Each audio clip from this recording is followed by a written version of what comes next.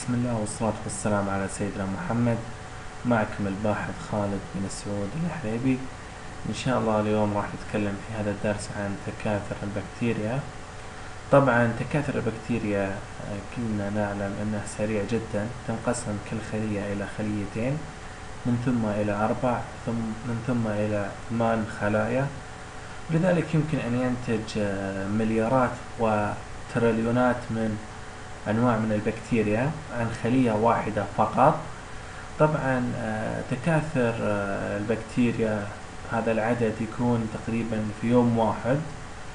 آه، هذا النوع من التكاثر يسمى الانقسام الانشطاري نقسم الخليتين الخلية الواحدة إلى نصفين تنشطر إلى خليتين وهي تكاثر سريع جدا.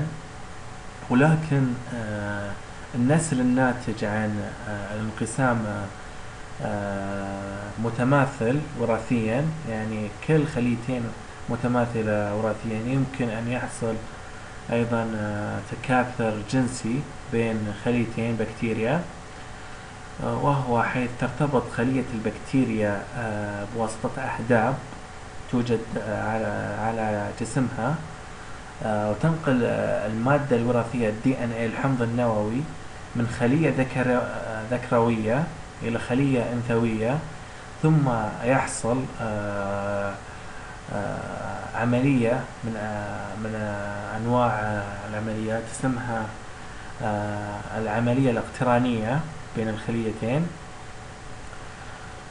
وإن شاء الله هذه العملية راح نتكلم عنها في الدرس الثاني إن شاء الله. كان معكم الباحث خالد بن سعود الحليبي.